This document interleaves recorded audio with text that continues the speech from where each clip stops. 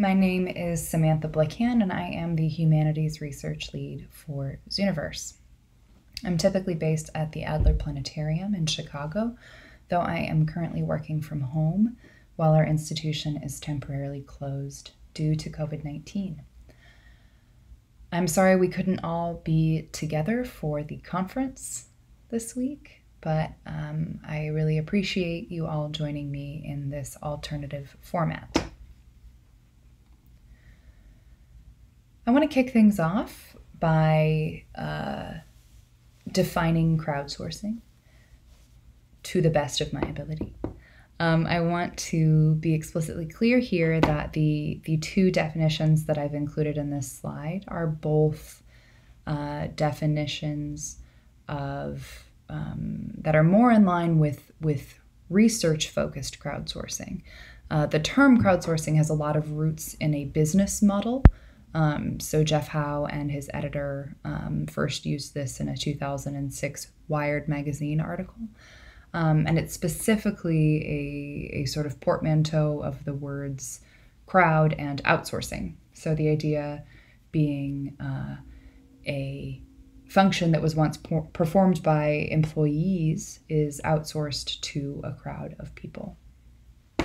But for the purposes of this talk, um, I'm using a definition that maps much more closely to the first one on the slide, so Hedges and Dunn, um, which is simply the process of leveraging public participation in or contributions to projects and activities. And we can apply this concept to cultural heritage uh, projects in a number of ways. Um, so, thinking about things like data transformation tasks, such as transcribing text, or meta, metadata enhancement through tagging images. Before I get um, further into the cultural heritage applications for crowdsourcing, I want to take a step back and introduce you to the Zooniverse and tell you a little bit about how our projects work. Zooniverse is an online platform that facilitates uh, this type of crowdsourcing for teams and individuals who want to use it to support research. And we refer to ourselves as a platform for people powered research. We host a number of projects which invite volunteers to help research teams process their data. And the platform is maintained by a team of developers and researchers based at Oxford University, the Adler Planetarium in Chicago, and the University of Minnesota Twin Cities. Since the platform launched in 2009, uh, just over 2 million registered volunteers have cumulatively produced more than 250 million classifications. The way that Zooniverse projects work is that for each project, multiple volunteers will interact with an image, video, or audio clip known as a subject, and then engage in a task or series of tasks based on that particular subject. Once the project is done, the researchers carry out their data analysis and they then share their results with the public. And I want to note here that uh, one of the stipulations of hosting a project on the Zooniverse platform uh, is that you do have to agree to make your results public um, within two years of your project being finished. And the idea behind that is that uh, if you are inviting the public to help you with your research, you owe it to them to make sure that they can access those research results. Um, so that's a, a general uh, tenet of the platform. There we go. To illustrate how projects on the Zooniverse look to volunteers, I have included a screenshot here from a currently active project called Mapping Historic Skies, um, which invites volunteers to engage with the Adler Planetarium's collection of celestial cartography. And in this particular workflow, volunteers draw boxes around individual constellations. You can see these green boxes here.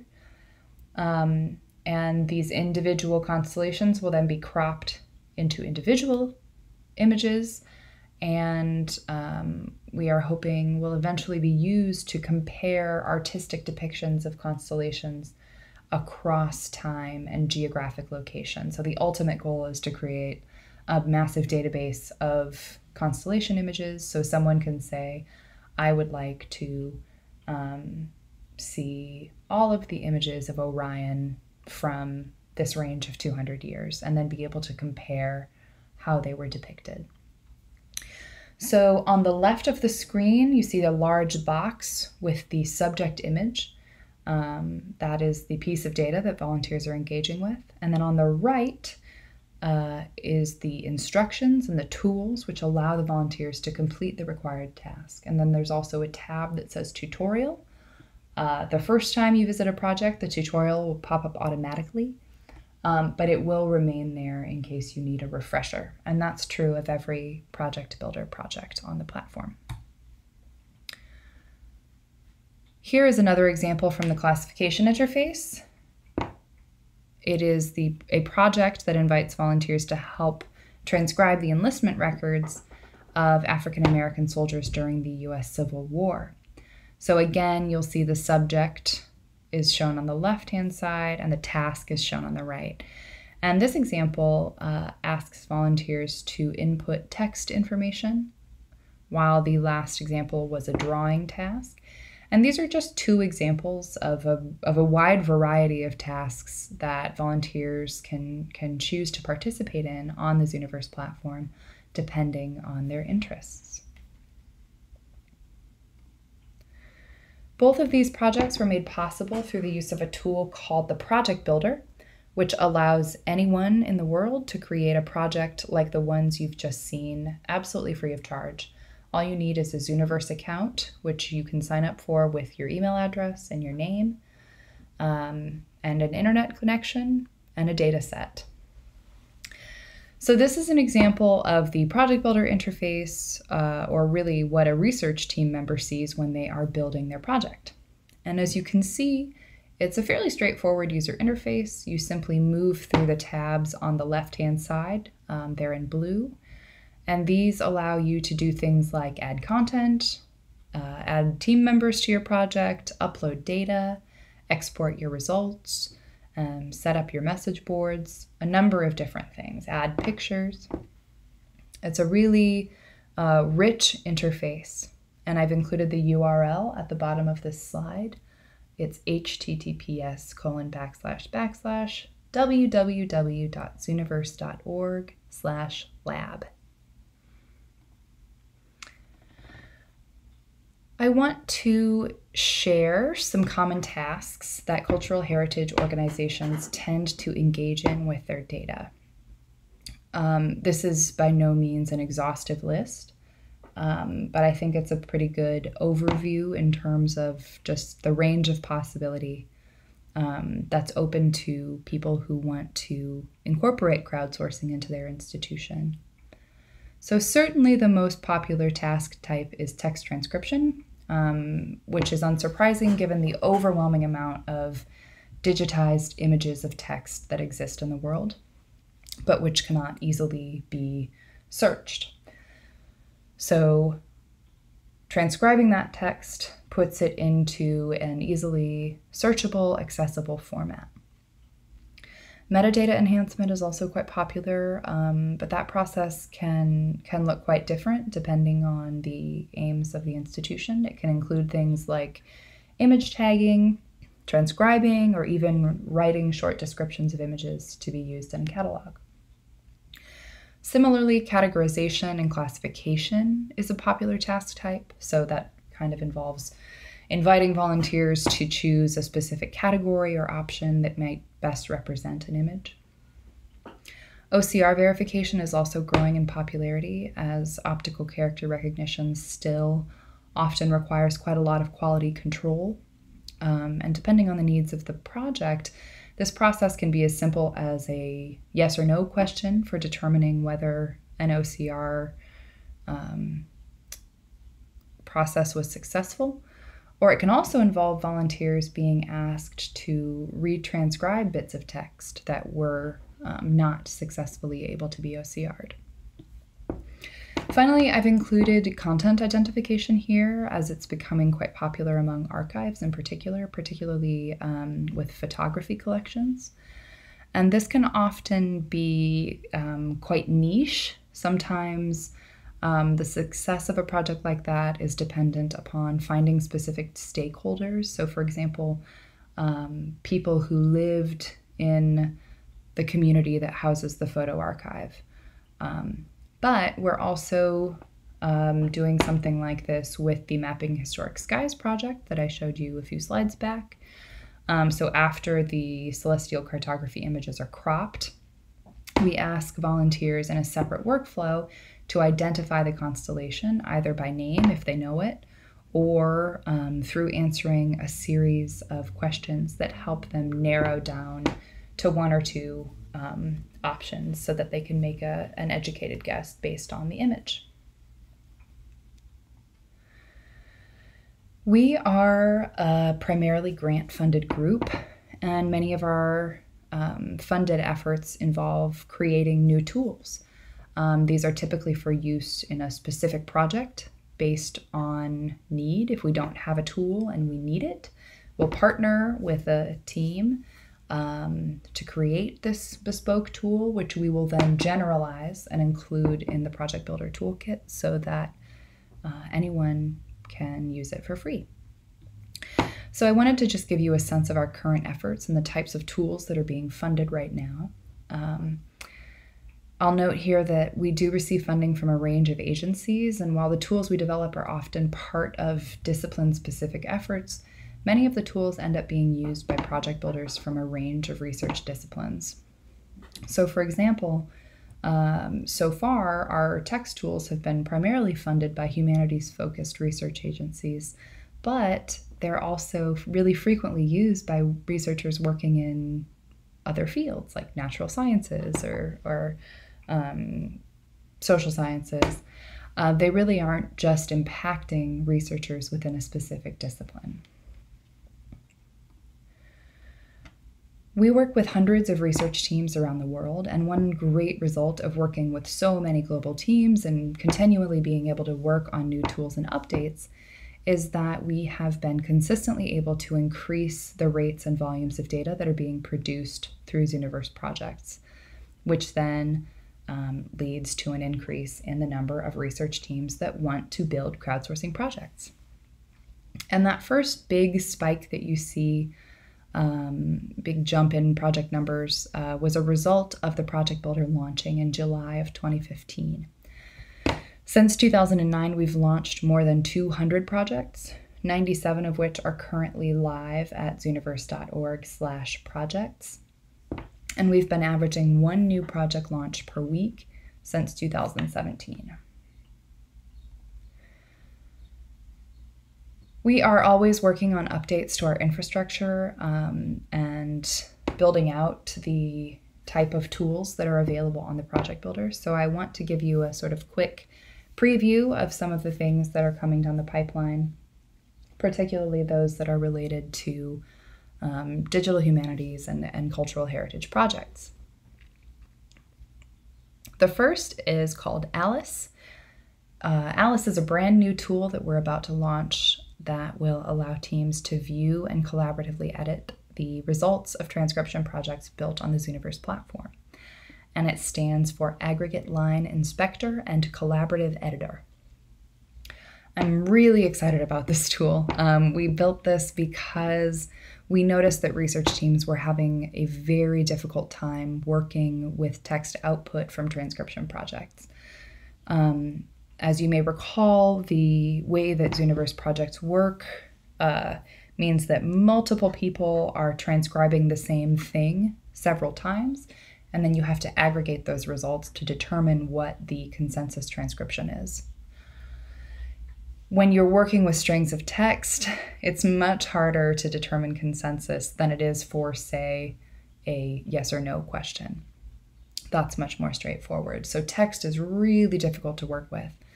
Um, and so we created this tool which supports automated text aggregation um, and allows teams to review and approve their transcriptions before they export their data.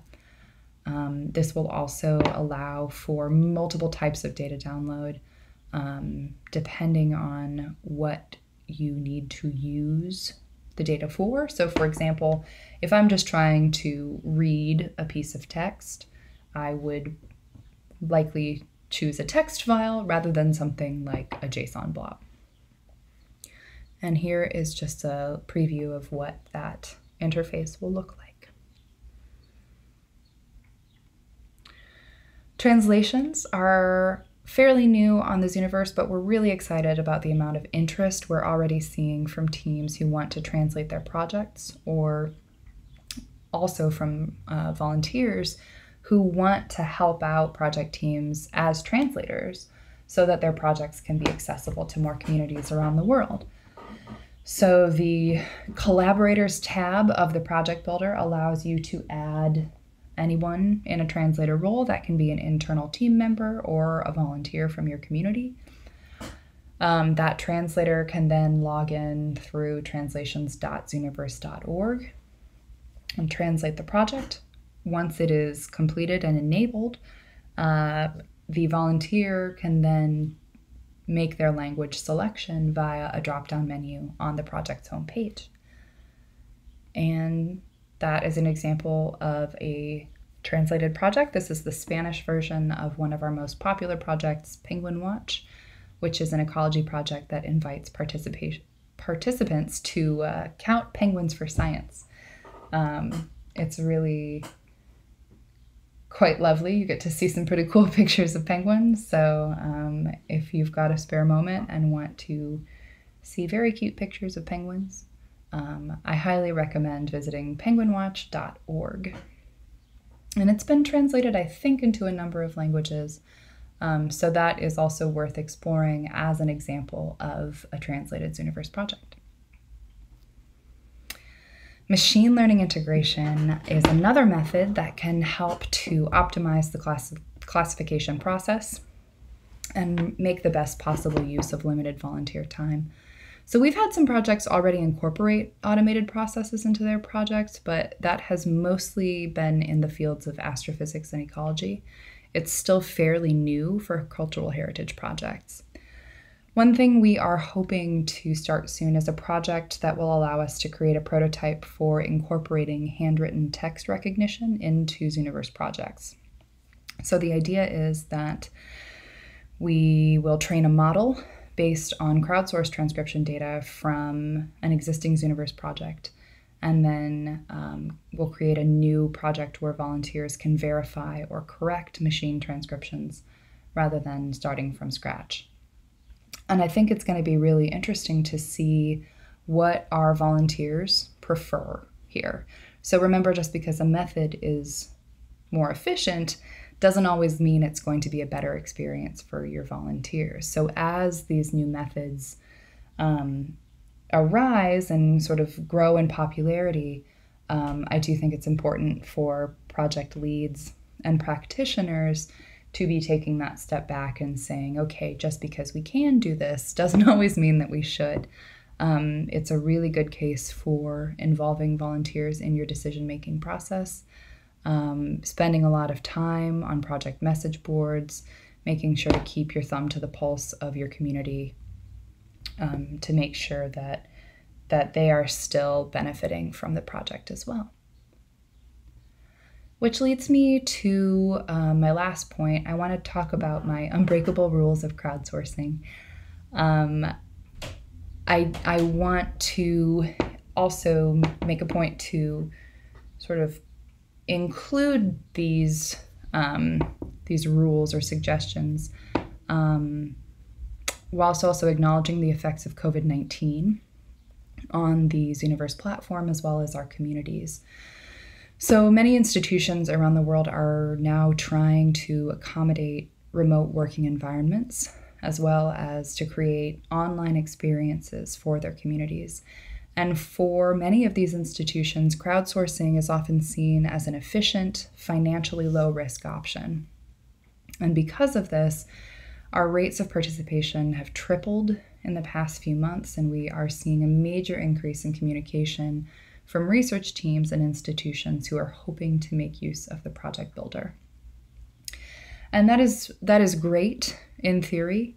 Um, and um, but I, I do want to be clear something that I've been really trying to communicate, um, especially to those who are newly interested in crowdsourcing as a result of COVID closures, um, is that it's really important for this process to be intentional, even if you are doing it or exploring it as a result of institutional closure. And the rules that I've included here may seem quite obvious, but I cannot stress enough their importance. So I'm just going to read through this slide um, and make a few final points uh, before ending. So the first unbreakable rule of crowdsourcing is people forward thinking. It's really important that you're keeping your volunteers in your mind at all times. Um, a really nice feature of the project builder is that you can preview your project at any point during your um, process of building it. Um, I also really recommend uh, participating in as many projects as you can before taking the step of creating your own project. Because if you don't know what it's like to be a volunteer on a crowdsourcing project, you will not be an effective leader. The second unbreakable rule is don't waste volunteer time.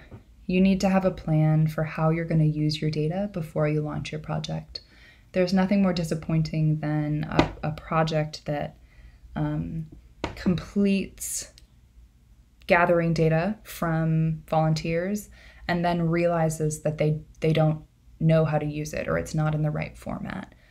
Um, again, another feature of the project builder is that you can export data at any time. So I really caution people to export data early and often to make sure that they have the resources that they need to work with the output before they involve the public.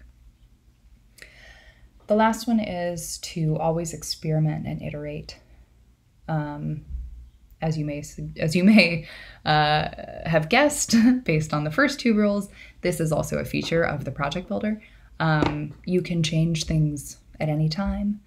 Um, and this process of iterating based on feedback will absolutely make your project better.